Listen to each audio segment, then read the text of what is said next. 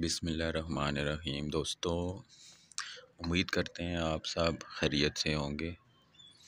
आज मैं आपको बहुत ही आसान बीज लगाने का तरीका बता रहा हूँ और ये तरीका आपको किसी ने भी नहीं बताया होगा। तो मेरी ये वीडियो बहुत ध्यान से देखना आप, ताकि आपको बीज लगाने में कोई आप गलती ना करते हों। और जिसकी वजह से आपके पौधे सही अच्छी तरह से ग्रोथ नहीं करते या बीज आपके आप लगाते हैं तो आपके बीज ज़ाया हो जाते हैं। तो आइए दोस्तों, बीज लगाते हैं, शुरू करते हैं। दोस्तों, ये बीज हैं करेलों के, कद्दू के और ये खीरों के बीज हैं। ये बीज हैं। तो इनको आपने इस तरह करना है कि आपने एक घंटे के लिए पानी में भिगो देना है। तो जब आप एक घंटे में पानी में भिगो दें तो उनको उसके बाद आप निकाल दें। तो उनको उससे निकाल के आपने क्या करना है कि एक ये बोरियों वाला ये जो मिलता है, बोरियों वाला ख़ास तौर पे ये बहुत ज़बरदस्त काम करता है। अगर ये आपको ना मिल रहा हो तो आप कोई भी सूती कपड़ा ले लें। ये सारे तमाम गीले बीज आप उसमें, उस कपड़े को, बोरियों के छोटे को आप गीला करके, अच्छी तरह से ही गीला करके तो आपने तमाम बीज उसमें लपेट के अगर दिन है तो पूरे दिन के लिए आप लपेट के गीले कपड़े में रखते हैं। अगर शाम को आप कर रहे हैं तो सुबह तक आप गीले कपड़े में लपेट के रख दें। तो जब सुबह आप गीले कपड़े से इन बीजों को निकालें तो उसके बाद आप इनको लगाएँ। तो ये अब हम आपको लगाने का तरीका भी दिखाते हैं।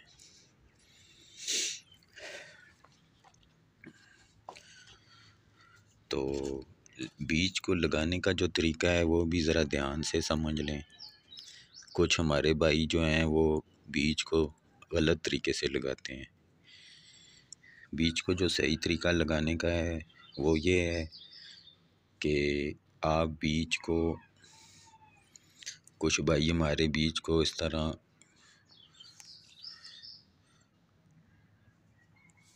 खड़ा लगा देते हैं। तो मेरे भाई इस तरह खड़ा आपने कभी भी नहीं लगाना। इस बीज को आपने हमेशा इस तरह लगाना है। इस साइज़ में लगाने है करके। ये जो तरीका है। इस तरह करेलों का बीज, कद्दू का बीज, काली तोरी, घिया तोरी, जो जो हमारे बीज इस साइज़ में होते हैं, उनको कभी भी हमने खड़े से, खड़े तरीके से नहीं लगाना। उनको हमने हमेशा इस तरीके से लगाना है, ऐसे। ये देखें, ऐसे लगाना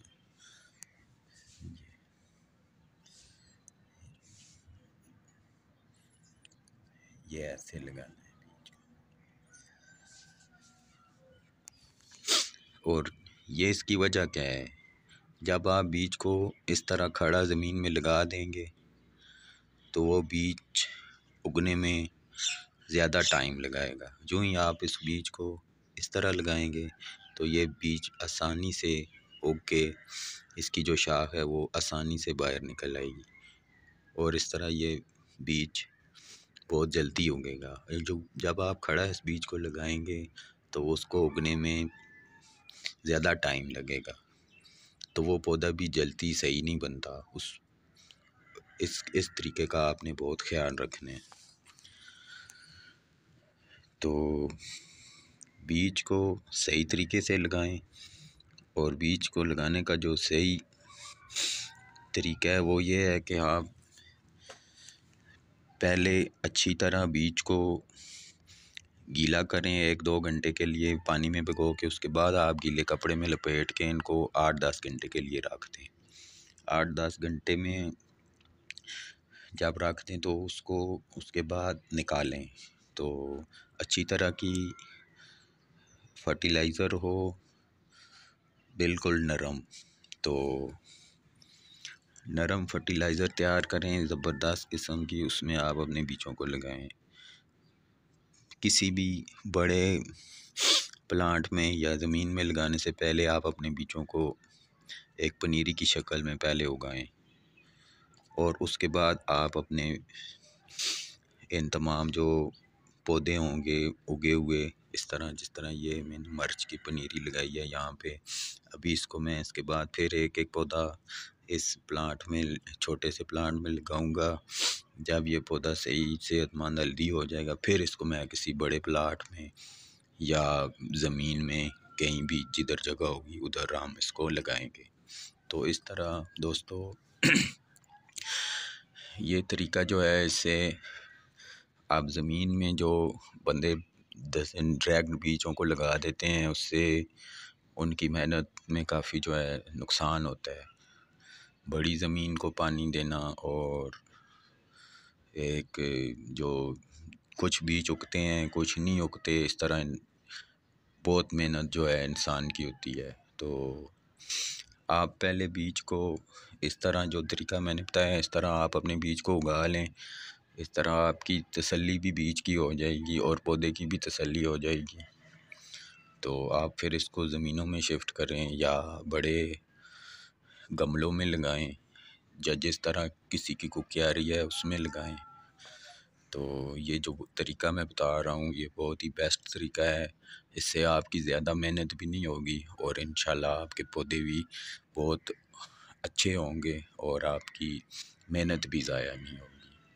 तो इन उम्मीद करते हैं, फिर आपको नेक्स्ट वीडियो पे मिलेंगे।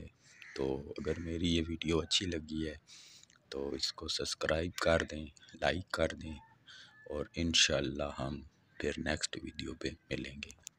तब तक के लिए अल्लाह हाफिज़। बिसमीम तो दोस्तों, चलें, बीज लगाना शुरू करते हैं। बिसमीम मोहम्मद वसल्लम ये है करेलों का बीज ये देखें मैं लगा रहा हूँ। ये देखें।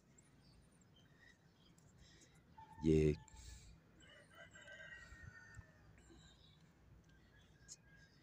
ये हमने करेलों का बीज लगा दिया। अभी हम लगा रहे हैं कद्दू का बीज ये कद्दू का बीज लगा रहे हैं। बिस्मिल्लाहिर्रहमानिर्रहीम। ये बीज लगाते वक्त बिस्मिल्लाह ज़रूर पढ़ लिया करें। इससे दरूज शरीफ से और बिस्मिल्लाह से बरकत होती है। तो इन आपके बीज भी अच्छे उगेंगे इन बिस्मिल्लाह पढ़ने से और दरूज शरीफ पढ़ने की बरकत से। तो ये देखें दोस्तों, ये कद्दू के बीज लगा रहे हैं।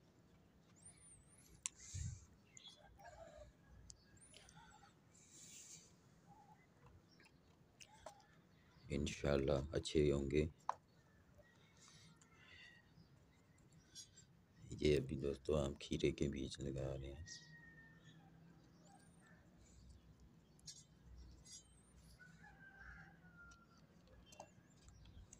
और ये हम भिंडी के बीज लगा रहे हैं। बिस्मिल्लाह